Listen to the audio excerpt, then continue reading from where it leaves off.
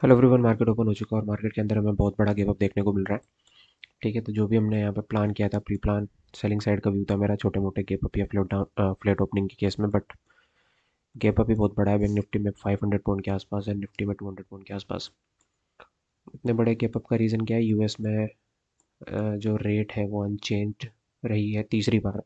ठीक है तो वही पॉजिटिव न्यूज़ को लेकर मार्केट में पॉजिटिविटी आपको दिखाई दे रही है। तो अब कैसे काम करने वाले हैं? इतने बड़े गैप के बाद तो हम बाइंग साइड की अपॉर्चुनिटी फाइंड आउट करने की कोशिश करेंगे कहीं इस लेवल के आसपास। तो अभी मार्केट ओपन होने का वेट करते हैं और हमारा जो भी प्री डिसाइडेड प्लान था वो तो पूरा बेकार हो गया तो वेट करते हैं अभी तो इतने बड़े गैप के बाद हम बाइंग साइड का कोई ट्रेड फाइंड आउट करने की कोशिश करेंगे। प्राइस एक्शन को देखते हुए तो अभी वेट करते हैं मार्केट ओपन देने का।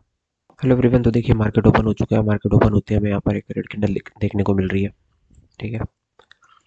तो वेट करते हैं। निफ्टी में तो अपर साइड ऐसे कोई लेवल बचे नहीं है जो हम ड्रॉ कर पाए। ऑल टाइम हाई के आसपास है निफ्टी।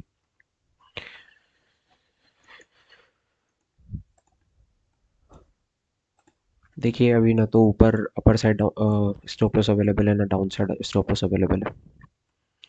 तो संभल कर हमें काम करना होगा। देखिए, इतने बड़े गेप अप और गेप डाउन के बाद थोड़ा काम करना मुश्किल हो जाता है। ठीक है? तो उसके अकॉर्डिंग हमको डिसीज़न बनाएँगे। अगर नहीं कुछ समझ में आता है तो हम अवॉइड करेंगे पोजीशन को ठीक है? तो अभी वेट करते हैं थोड़ा प्राइजेशन बनने देने का। देखिए मार्केट ने मूव अच्छा किया है यहाँ से। 200 पॉइंट्स का मूव कर दिया है। हेलो एवरीवन तो देखिए यहाँ पर हमें बैंक निफ्टी में एक आ, इस लेवल के आसपास से रिजेक्शन लेता हुआ दिख रहा है और यहाँ पर एम पैटर्न का भी फॉर्मेशन किया हुआ है। तो कॉल साइड के बारे में सोचा जा सकता है? ठीक है तो देखते हैं पोजीशन बनाने का ट्राई करते हैं हम। इतने बड़े गिप के बाद तो देखिए हम उसी के डायरेक्शन में जाने का ट्राई करेंगे। थोड़ा सा वेट कर लेते हैं। ठीक है। हेलो एवरीवन तो देखिए हमने यहाँ पर पोजीशन बना ली है पुट साइड में हमने काम किया है। ठीक है, निफ्टी के अंदर हमने काम किया और इस कैंडल पर हमने एंट्री बनाई है अपनी पुट साइड की। नौ बज के चौंतीस मिनट पर अगर हम जाके देखें पोजीशन में एक बार ऑर्डर्स में तो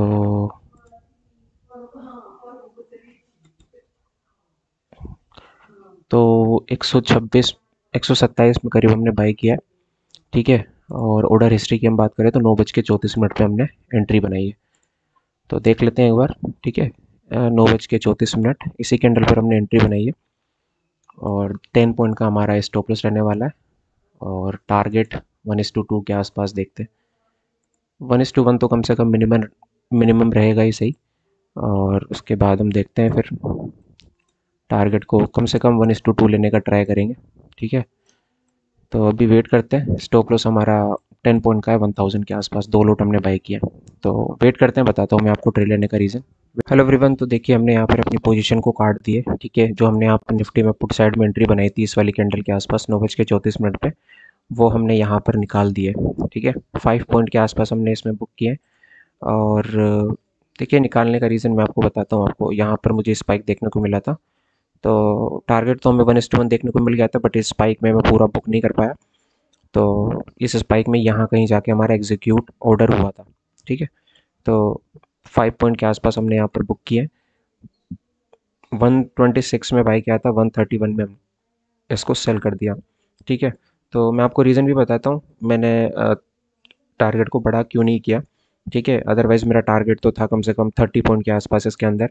तो मैं आपको रीज़न एक्सप्लेन कर देता हूँ कि मार्केट ने प्राइजेक्शन ऐसा कुछ बना रखा था। मार्केट यहाँ से क्या कर रहा था? यहाँ से होल्ड करता हुआ दिखाई दे रहा था।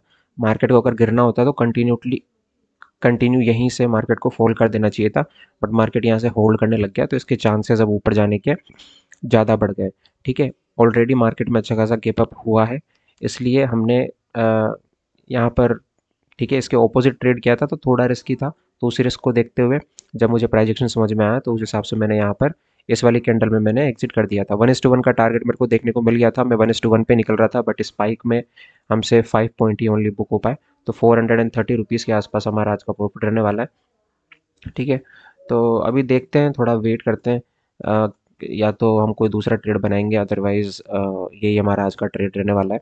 ठीक है? तो रीज़न तो बड़ा सिंपल सा था पुट साइड का ट्रेड लेने का कि देखिए अपर साइड डायरेक्टली ऐसे कोई स्टॉप लॉस अवेलेबल नहीं थे। स्टॉप लॉस नीचे भी अवेलेबल नहीं थे। बट निफ्टी ने क्या किया था? मल्टीपल यहाँ पर ब्रेकआउट दे दिए थे। तो यहाँ सिर्फ़ बायर्स ही काम कर रहे थे तो उन्हीं बायर्स को हमने टारगेट करने के लिए यहाँ पर पुट साइड में काम किया हुआ था। ठीक है? अब प्राइजेक्शन को देखते हुए, और वैसे तो मार्केट ने वन एस टू वन का टारगेट हमें इस कैंडल में दिखा दिया था। मैंने आपको स्ट्राइक प्राइस भी दिखा दिया देखिए, इस स्पाइक में टेन पॉइंट के आसपास हमें देखने को मिले बट अब क्या करें? अब इतनी जल्दी तो कोई एग्जीक्यूट ऑर्डर कर नहीं पाता है। इतनी तेज़ी से स्पाइक आया कि हम वन थाउज़ेंड में इसको निकाल नहीं पाए। और यहाँ कहीं जाके फाइव पॉइंट के आसपास, यहाँ कहीं जाके हमारा ऑर्डर एग्जीक्यूट हुआ है, ठीक है?